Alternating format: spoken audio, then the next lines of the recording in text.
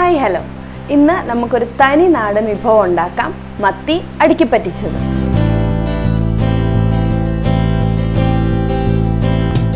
ആവശ്യമായ സാധനങ്ങൾ എന്തൊക്കെയാണെന്ന് നോക്കാം.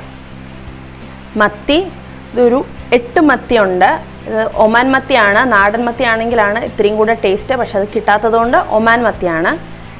ഇത് ഉള്ളി ചെറിയുള്ളി ഒന്നര കപ്പ് ചെറുതായിട്ട് അരിഞ്ഞു വെച്ചിരിക്കുന്നതാണ്. കാന്താരി ഉപ്പ് വറ്റൽമുളക് പുളി മഞ്ഞൾപ്പൊടി വെളുത്തുള്ളി ഇഞ്ചി പച്ചമുളക് കറിവേപ്പില എണ്ണ. ഇത്രയും കാര്യങ്ങൾ വെച്ചിട്ട് നമുക്ക് തുടങ്ങാം. ആദ്യം നമുക്ക് ഇഞ്ചിയും വെളുത്തുള്ളി കാന്താരിയും വറ്റൽമുളകും നല്ലപോലെ ഒന്ന് ചതച്ചെടുക്കാം. നമ്മൾ ചതച്ചാണ് ചേർക്കുന്നത്. അരിഞ്ഞു ചേർത്താൽ അത്ര ടേസ്റ്റ് വരില്ല. ഒരുപാട് അരച്ചും ചേർക്കരുത്. അരച്ചും ചേർക്കുമ്പോൾ അതിന്റെ ടേസ്റ്റ് പോകും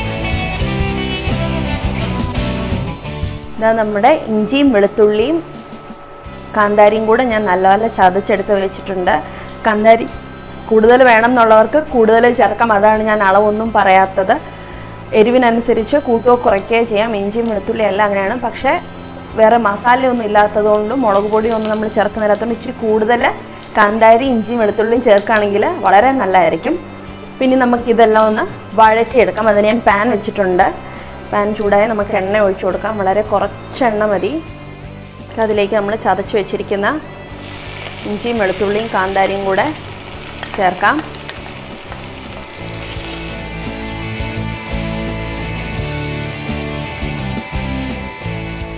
ഇനി ഇങ്ങനെയല്ല ഇങ്ങനെ പോലും വഴറ്റുണ്ടെന്നുണ്ടെങ്കിൽ ചട്ടിക്കകത്ത് ഈ അരപ്പെല്ലാം കൂടെ മുഴുവൻ ഒന്ന് ചതച്ചെടുത്തിട്ട് ഒരു ലെയർ അരപ്പിട്ട് അതിന്റെ മുകളിൽ മത്തിയിട്ട് ഇച്ചിരിയും കൂടെ അരപ്പിട്ട് ഒരു ഇല കൊണ്ട് മൂടി അടച്ചു വെച്ച് വേവിച്ചാലും ടേസ്റ്റാണ് ഇത് ഞാൻ ജസ്റ്റ് ഒന്ന് വഴറ്റി ഉള്ളതാണ് ഞാൻ ചെയ്യുന്നത്. അങ്ങനെയാണെങ്കിൽ ഇച്ചിരിയും കൂടെ ഹെൽത്തി ആയിരിക്കും. ഉള്ളി ചേർക്കുവാണ്. അരിഞ്ഞു വെച്ചിരിക്കുന്ന ഉള്ളി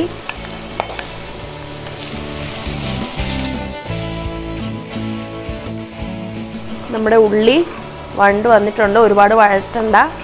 അതിലേക്ക് നമുക്ക് നമ്മൾ എടുത്തു വെച്ചിരിക്കുന്ന വറ്റൽമുളക് ചേർക്കാം. ഞാനൊന്ന് ചതച്ചിട്ടാണ് ചേർക്കുന്നത്.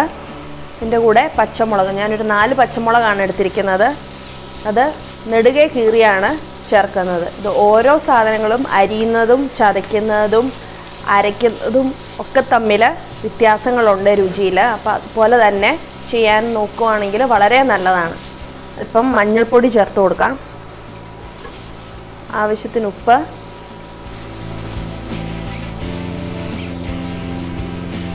ഇതിലേക്ക് കുറച്ച് എടുത്തു വെച്ച വാളം പുളിയും കൂടി ചേർത്ത് കൊടുക്കാം.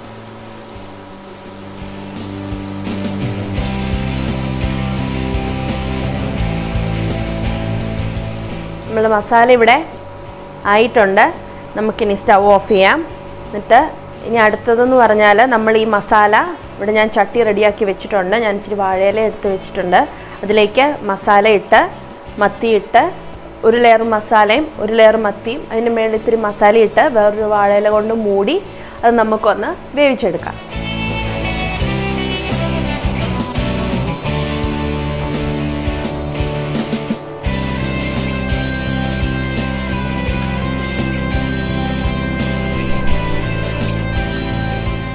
നമ്മൾ ഒരു ലെയർ മസാല ഇട്ടു. അതിലേക്ക് നമുക്ക് ഓരോ മത്തിയും ചെറുതായിട്ട് വരഞ്ഞ് വരഞ്ഞ് ചേർത്ത് കൊടുക്കാം.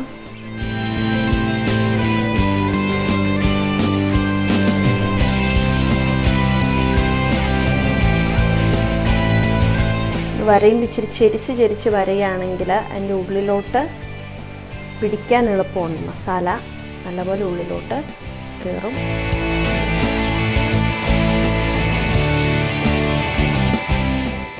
ഇപ്പം നമ്മൾ മത്തിയും നല്ലപോലെ അടുക്കി വെച്ചിട്ടുണ്ട്. ഇതിലേക്ക് നമുക്ക് കറിവേപ്പില ചേർത്ത് കൊടുക്കാം. ഇത്തിരി കൂടുതൽ കറിവേപ്പില ഉള്ളത് വളരെ നല്ലതാണ്. പ്രത്യേകിച്ച് എനിക്ക് കറിവേപ്പില ഭയങ്കര ഇഷ്ടമാണ്. കറിവേപ്പിലയുടെ ഗുണങ്ങൾ കറിക്ക് രുചി തരുന്നത് മാത്രമല്ല നമുക്ക് ഹെൽത്ത് വൈസ് വളരെ നല്ലതാണ്. അതുകൊണ്ട് കറിവേപ്പില ഇട്ടു. ഇനി നമുക്ക് ബാക്കിയുള്ള ഗ്രേവി കൂടി ഇതിന്റെ മുകളിലേക്ക് ചേർത്ത് കൊടുക്കാം. ഇത് നമ്മൾ മേളിൽ മസാല വെച്ചു. ഇനി നമുക്കതൊരു വാഴയില കൊണ്ട് മൂടി വെക്കാം. മൂടി നമുക്ക് അടപ്പ് കൊണ്ട് അടയ്ക്കാം. ഇതിനി നമുക്ക് അടുപ്പിൽ വെച്ചൊന്ന് വേവിച്ചെടുക്കാം. ഇത് നമ്മളുടെ മത്തി ഇവിടെ റെഡി ആയിട്ടുണ്ട്. കണ്ട? നല്ല ആവിയൊക്കെ പറന്ന് നല്ല വാഴയിലയൊക്കെ വാടി മത്തി നല്ല തിളച്ച് മറിയുന്നുണ്ട് നമുക്ക്. സ്റ്റൗ ഓഫ് ചെയ്ത് ഒരു പത്ത് മിനിറ്റും കൂടി ഇരുന്നോട്ടെ. ഈ സമയത്തിന് നമുക്ക് ഇത്തിരി പച്ച വെളിച്ചെണ്ണ ഒഴിച്ചു കൊടുക്കാം. ചട്ടിക്കകത്തായതുകൊണ്ട് ഇച്ചിരി നേരം അതിന്റെ ചൂട് നിൽക്കും. അപ്പം പച്ച വെളിച്ചെണ്ണയും ഇത്തിരി കറിവേപ്പിലയും കൂടെ ചേർത്ത് കൊടുക്കാം. ഇത് ഇതിൽ വന്നാൽ ആകട്ടെ. നമ്മളൊരു അഞ്ച് മിനിറ്റ് മൂടിയും വെച്ചു ഇച്ചിരി പച്ച വെളിച്ചെണ്ണ ഒഴിച്ച്. ഇനി ആവശ്യമുള്ളവർക്ക് വെളിച്ചെണ്ണയ്ക്കകത്ത് ഇച്ചിരി കടുക് ഉലുവയും കൂടെ മൂപ്പിച്ചിടാം. അല്ലെങ്കിൽ ഉലുവ പൊടിയായിട്ടിടാം ഇങ്ങനെ തന്നെ കഴിക്കുന്നതാണ് അതിന്റെ ഒരു ടേസ്റ്റ് നമുക്ക് നല്ലപോലെ വെന്തിട്ടുണ്ട്. ഇതൊരു സെർവിങ് ഡിഷിലേക്ക് മാറ്റാം.